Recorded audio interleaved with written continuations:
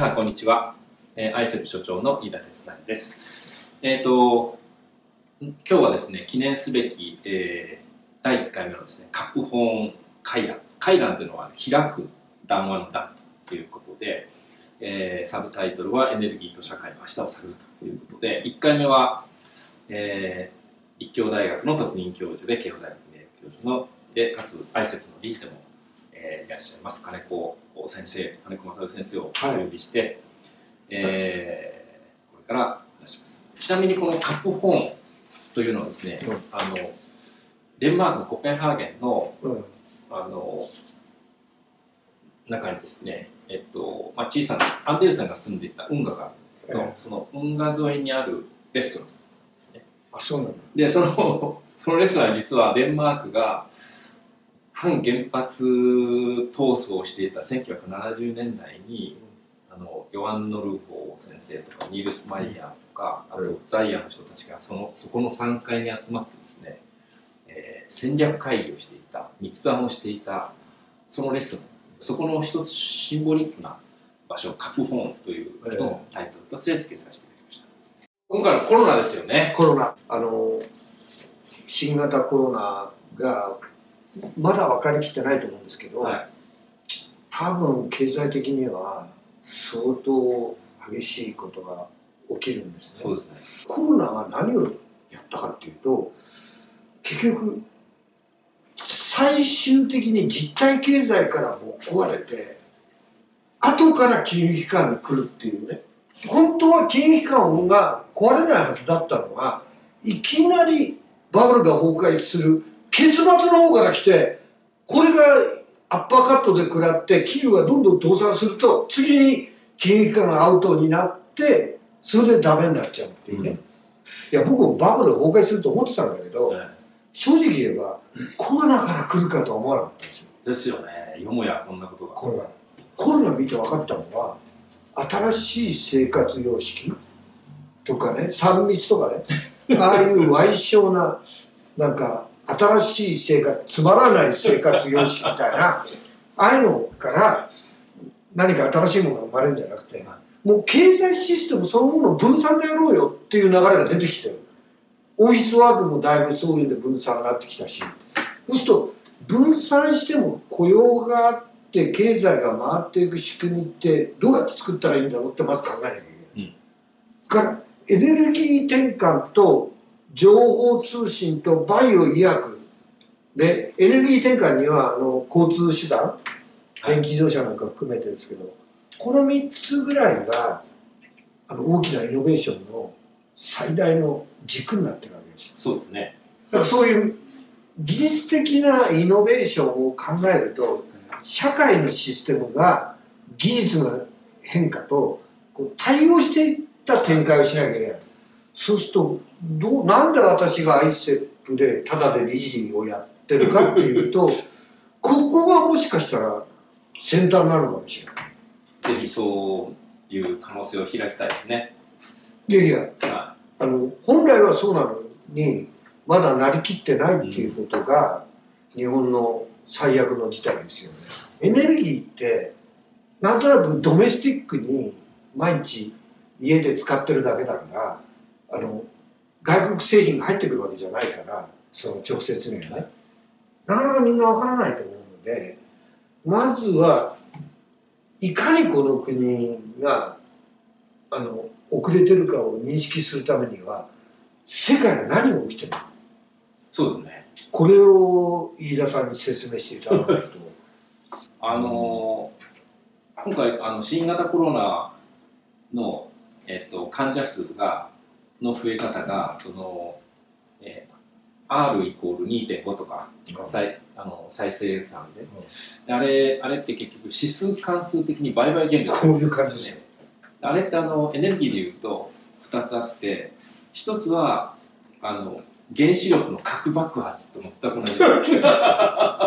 それちょっとす悪い例ですけど。不吉だな。でもあのコロナの患者数の増え方ってイタリアで出ました数日後には数百人になってさらに数日後には数千人になってっていう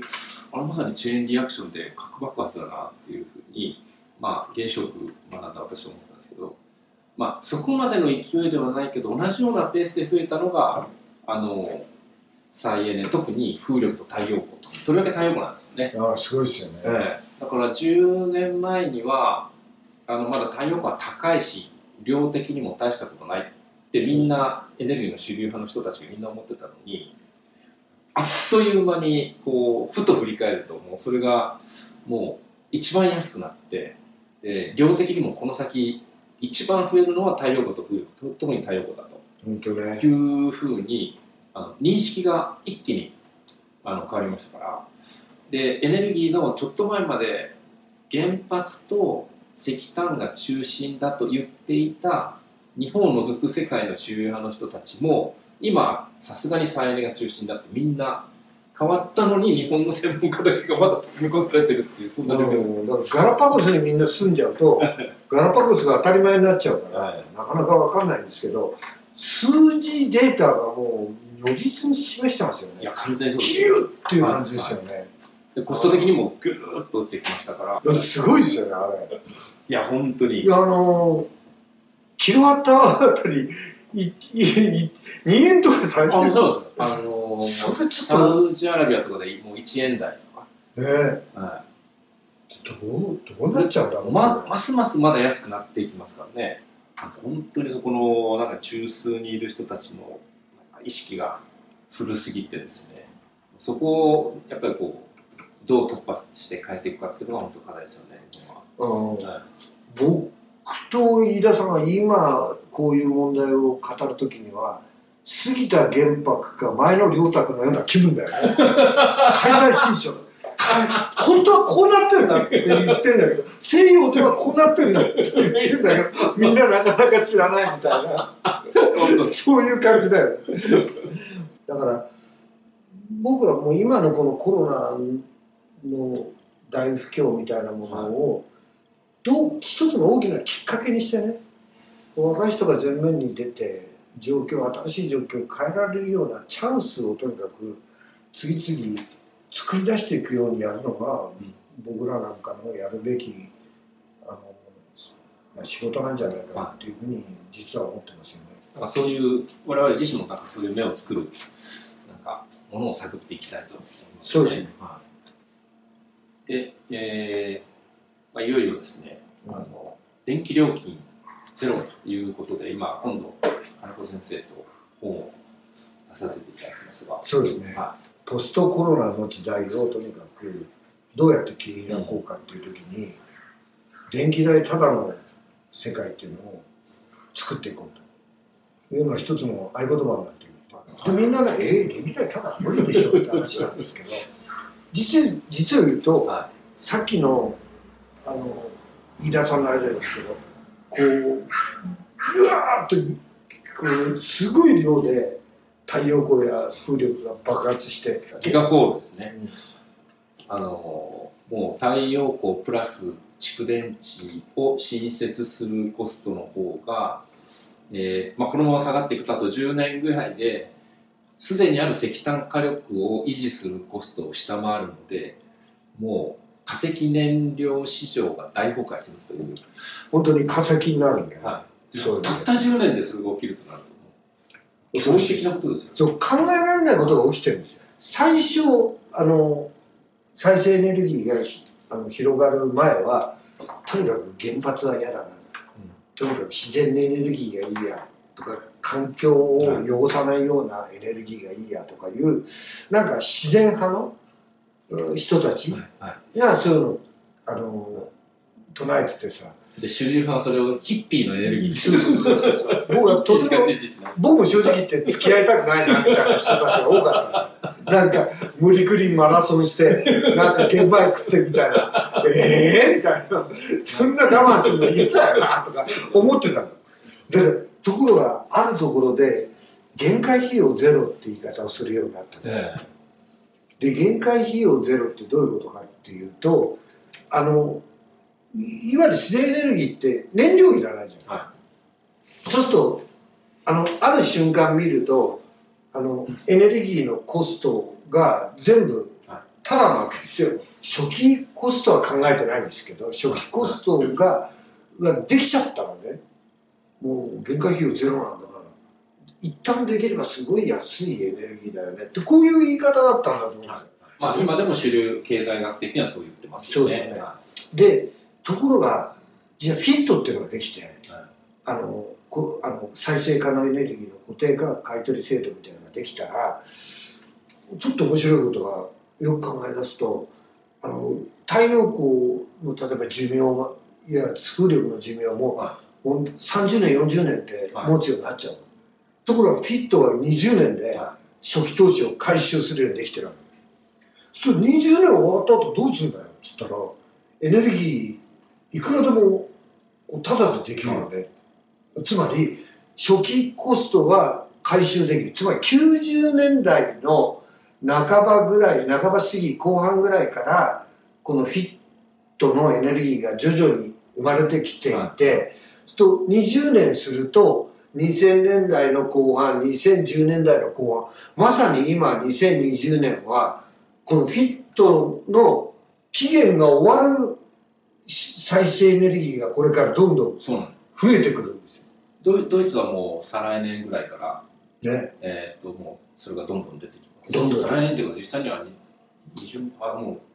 今年、来年からかですね。初期費用を全部投資費用を回収して、しかも毎年原材料がない限界費用ゼロだとして、フィットで買い取りが終わった瞬間に、ただのエネルギーが世の中に大量に出てくる時代が入ったっていうことを電気代ただっていうことを言いたいわけですよ。金子先生とうん、えっと、あ、金子先生とあれ、浜風ちゃんって風車見に行きませんでした？見てない見てない。あの、日本で初めてできた市民ファンドの、あの、えー風力、あの、浜風ちゃうんんは、まさに、えっと、再来年から、ただのエネルギーになる。そうそう。ただの風力発電になる。だからまあ、実際には売る売るって儲かるんですけど、これからははあの分散型で自分で小さいエネルギー作ってもは20年間終わっちゃえば自分で消費しちゃえばは本当にタダになっちゃうでしょ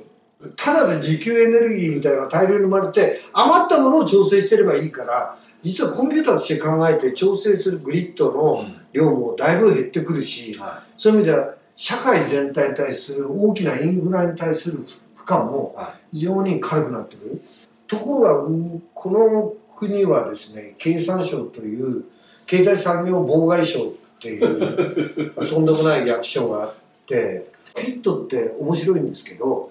あの、こう、加減政策なんだけど、これが毎年の20年間して原価が回収したらなくなっちゃうんです。い。はい。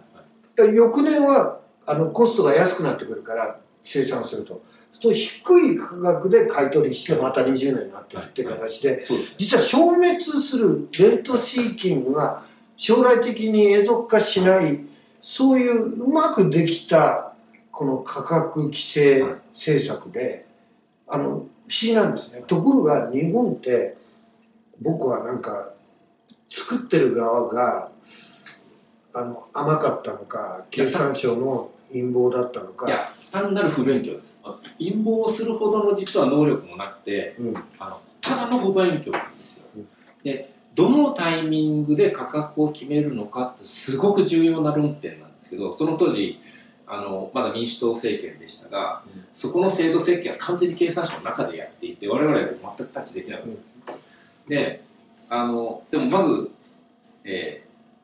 国に登録した時点で価格が決まるというフィット制度は世界で、えー100カ国かちょっと正確には分かりませんが、えっと、フィットを導入した制度の中で日本だけなんです。こんな愚かなことを決めてしまった。本当にそれはただの不勉強。まずそこは制度設計は国あの経産省の不勉強。をそれからあの執行機関の方もえーっと登録がですね最初の3年間はずさんすぎて、うん。あの適当に東本というか住所を書いて国と電力に出したら何でも OK だったんですよ、でだから最初の3年間で1億キロワットの太陽光が登録されちゃってですねでそれが全部最初に価格がまあ後でちょっと振り落とされましたけどそそれがまあでもそれでも合計8000だからあと残り2 3000ぐらいのとにかくあのなんとか国国の中の不勉強なしかも粗雑な制度設計と執行機関のデタラメさが絡み合って今の問題になっていってうん。でそれがしかもできやすいところはさっさとできちゃったんですけどあの自然豊かな山の中とか なんかそういうのが残って自然破壊のところに今またこう来ちゃってるっていうので。いや本当にまずいっすよね。でもこれは本当に根が根深い。とだから僕はやっぱり今もう一回制度設計をあの変えないといけないと思うんです安倍政権のような政権であるだけ難しいと思うんだけど、あのやっぱりドイツじゃないですけどやっぱり再生エネルギーを優先回答にして、はそれから、